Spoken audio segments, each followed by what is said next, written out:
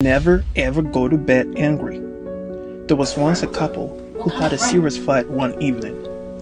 Because the wife went through the husband's phone and saw that he was chatting with a lady. Why are you going through my phone anyway? As she, I thought you went to boys' school. What does it matter? Give me my phone. Really? Don't ever go through my phone again. I didn't- am telling you. It that. just popped up on your phone. Don't go through my phone again. Why do you always do that? Why are you always looking for a reason to fight? Why do I always have to see strange people? Why do you phone? always look for that? I do not look for it. They just pop What do you want? What do you, what do you It's like? God just wants me to see it. Who is she? I love God. Thank you, God. You always want to show something. What do you want to know? Tell, ask me. Everything about her. Who is she? Um, Where is she? How is she? What kind of human being is she? Oh, you want to know how she is? I bet you don't. Don't start it, okay? I'm not in the mood for that. Right now, I want to sleep. Okay? Oh, You can't sleep. We Thank you. have a conversation. Thank you. Good night, my love. Babe, babe, listen. Babe! Ah, What is this? Why is it so hard for you to tell me who she is? I just want to know who she is. Who is she? You know what? Instead of thinking of who she is and worrying your pretty head about it, why don't you just get out of this? Just give me a little something, something and stop worrying your pretty head about this. You're ridiculous. You're very ridiculous. I love you too. Really? This is the marriage you promised me? The best ever. Really? Really?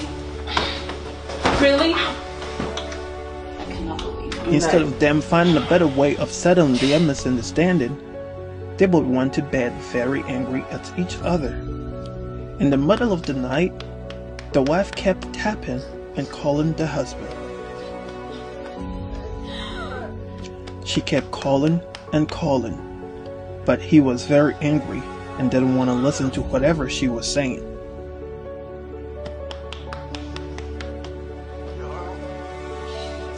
Instead, he woke up and left to go sleep in the living room. He woke up the next morning, still very angry.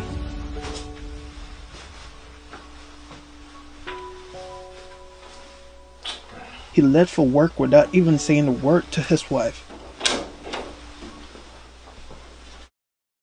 He came back from work to find the house the way he left it very messy.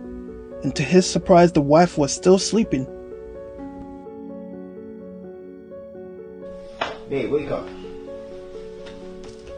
But he came closer and realized that something was wrong. He saw his wife's inhaler. Babe. Shit. He then checked, and she wasn't breathing. Hey. Babe. He tried to call 911, but it was too late. Hello? 911? The wife was gone. Yes, I need, I need a squad in my house. It turns out that she had an asthmatic attack in the middle of the night.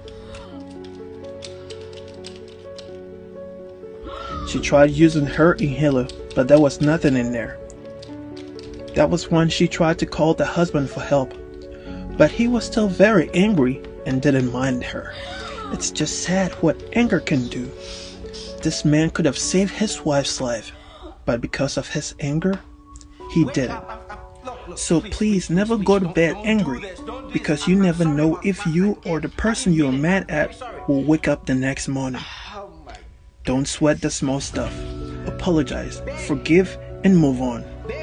I know it's not easy to say I'm sorry, especially when you think you've done nothing wrong. But trust me, it's better to say I'm sorry and leave peacefully than to do what this man did.